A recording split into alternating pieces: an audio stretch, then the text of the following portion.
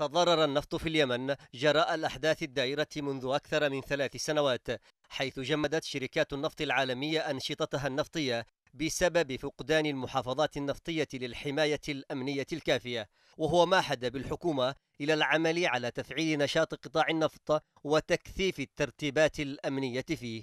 لم تكن الحرب وحدها من تسببت بإلحاق الضرر في قطاع النفط بل أيضا شبكات الفساد وتغلغل لوبي الانقلاب داخل أجهزة شركات النفط ما جعل رئيس الوزراء أحمد عبيد بن دغر يحذر بوضوح كافة الشركات المنتجة للنفط في المناطق المحررة من أي تعامل نفطي مع الانقلابيين في صنعاء.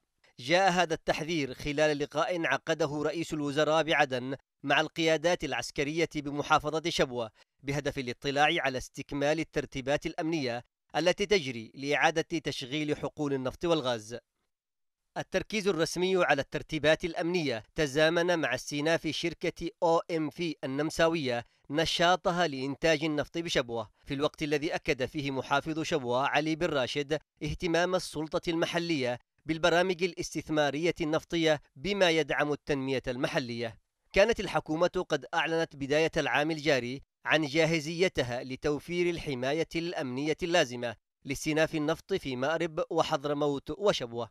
تحديات معقدة أمام الشرعية تعيق تفعيل الإنتاج النفطي لكن أهمها وأخطرها منع التعاملات النفطية مع الانقلاب وتوفير بيئة آمنة لحماية منشآت وأنابيب النفط لضمان جذب استثمار شركات النفط العالمية.